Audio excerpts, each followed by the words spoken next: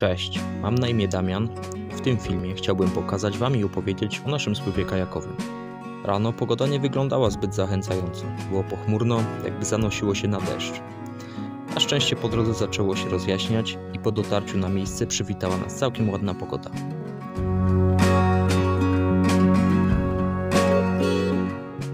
Rzeka, którą wybraliśmy to Nida, ponieważ jest stosunkowo niedaleko nas, a także jest powszechnie uznawana za miejsce wprost idealnie dla początkujących.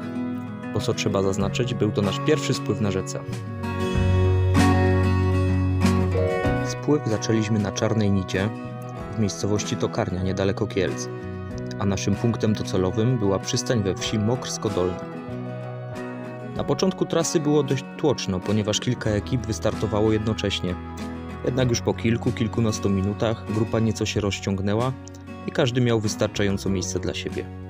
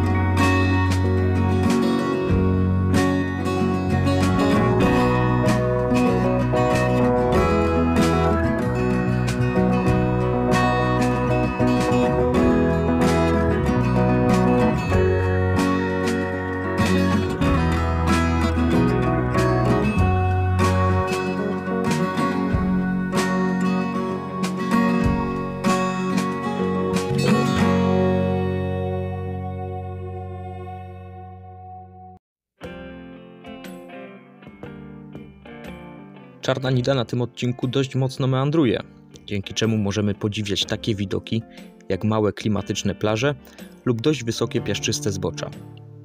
Ma to jednak też swoje wady. Nida jest dość płytką rzeką nizinną. Podejrzewam, że na odcinku, którym płynęliśmy, jej maksymalna głębokość nie przekracza jednego metra. Co za tym idzie, bardzo łatwo trafić na mieliznę, płynąc zbyt blisko brzegu lub po zewnętrznej stronie zakrętu. Mi osobiście przypadło kilka razy wyciągać kajak z takiej mielizny.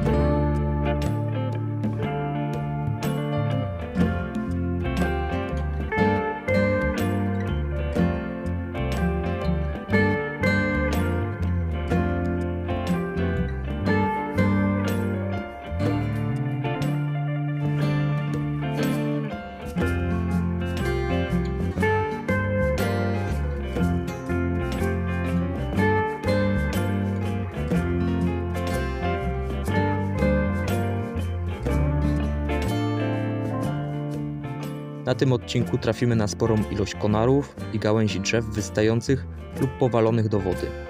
Ma to swoje walory estetyczne, ale trzeba je omijać, co takim amatorom jak my na samym początku sprawiło trochę trudności.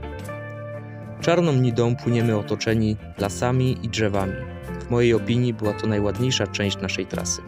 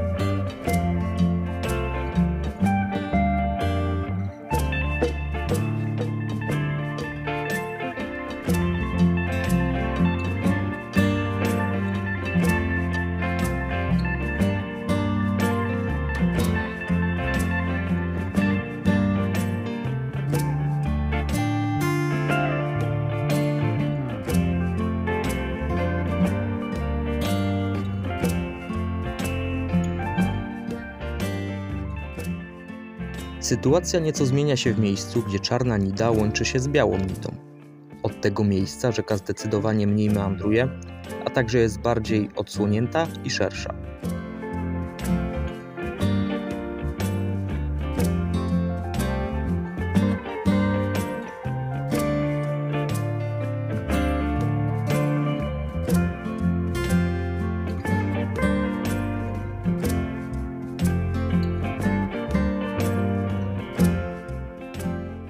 Po około dwóch godzinach płynięcia zdecydowaliśmy zrobić sobie 30-minutową przerwę na jednej z wysepek.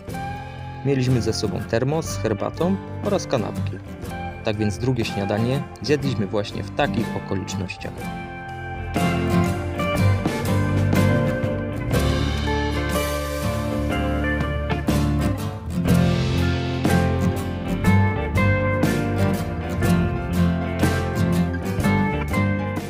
Pewnie wielu z Was interesuje, jak taki spływ wygląda pod względem kosztów oraz logistyki. W naszym przypadku wypożyczenie kajaka dwuosobowego kosztowało 100 zł. Mamy w tym oczywiście kajak, wiosła, kamizelki oraz specjalny 15-litrowy worek wodoszczelny, w którym można schować np. telefon czy portfel. Ale nie każda wypożyczalnia ma je w ofercie. Zauważyliśmy, że niektóre kajaki innych wypożyczalni były wyposażone w specjalne wodoszczelne luki bagażowe. Co do transportu, to wszyscy spotkaliśmy się na starcie, następnie kierowcy odprowadzili samochody na koniec trasy w Mokrzsku, a właściciel wypożyczalni przywiózł nas na start, gdzie zostały wydane kajaki i cały sprzęt. Uważam, że to bardzo dobre rozwiązanie, ponieważ po dopłynięciu na koniec trasy nie musimy czekać na transport, tylko od razu możemy wsiąść do swojego auta.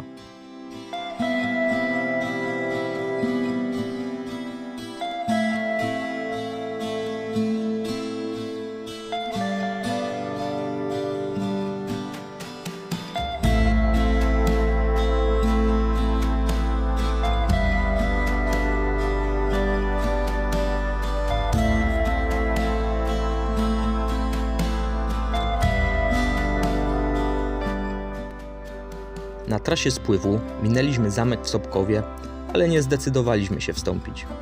Od zamku do końca trasy było około 30-40 minut płynięcia. Przepłynięcie całej trasy, mierzącej około 15 km, zajęło nam jakieś 4 godziny, wliczając w to dwie przerwy 30 i 10 minut. Jeśli wybieracie się tam z dziećmi, rekomenduję wybrać nieco krótszą trasę. Wrażenia po spływie mamy bardzo pozytywne. Na pewno wybierzemy się w te rejony jeszcze nie raz. Link do wypożyczalni, z którą płynęliśmy, znajdziecie w opisie tego filmu. Pozdrawiam i do następnego.